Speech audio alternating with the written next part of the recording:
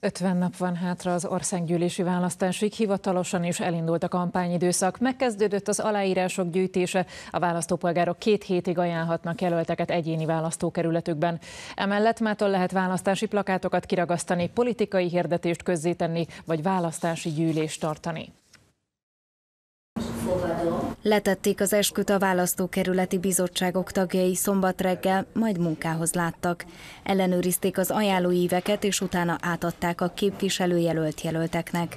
Ők pedig azonnal el is indultak aláírásokat gyűjteni. Székesfehérváron a pártok egymás mellé állították fel standjaikat, név, lakcím és a lakcímkártya hátoldalán található személyi azonosító, ezeket kellett megadni és szignózni az ajánlóívet. Többen is azt mondták, fontosnak tartják, hogy éljenek állampolgári jogaikkal. Mi mindig megyünk szavazni, minden szavazáskor ott vagyunk. A jelöléshez szükséges aláírásgyűjtés ügyében jöttem. Veszprém megyében nem csak az utcán gyűjtötték az aláírásokat, a politikusok személyesen is felkeresték szimpatizánsaikat. Elindult a kampány, és ezzel együtt az első plakátok is kikerültek a villanyoszlopokra. A képviselőjelöltek figyelemfelhívó molinókat helyezhetnek ki, szórólapokat oszthatnak, és lakossági fórumokat is tarthatnak. Két hét alatt 500 aláírást kell összegyűjteniük. Alá írni. Hörcsik Richard kormánypárti országgyűlési képviselőnek rekordidő alatt sikerült megszereznie az ajánlásokat, a választási iroda pedig nem sokkal később nyilvántartásba vette.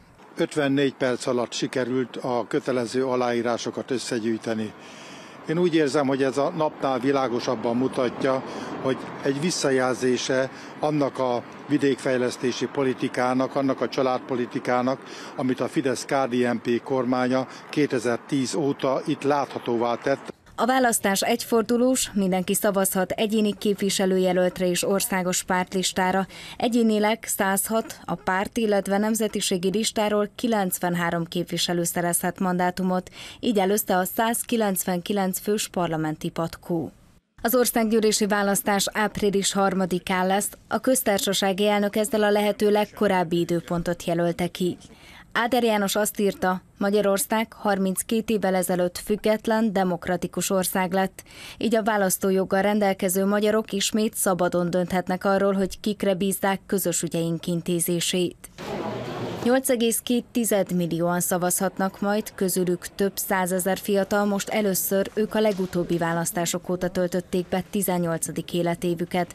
Február 11-ig mindenkit értesítettek a névjegyzékbe való felvételről és arról pontosan hol voksolhat. Aki nem kapta meg a levelet, az a jegyzőtől kérhet újat.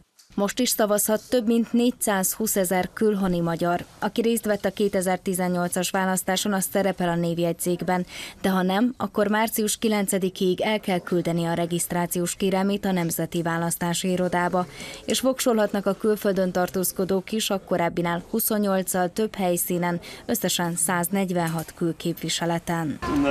Az 50 napos kampányidőszak a szavazás napján a voksolás befejezéséig tart.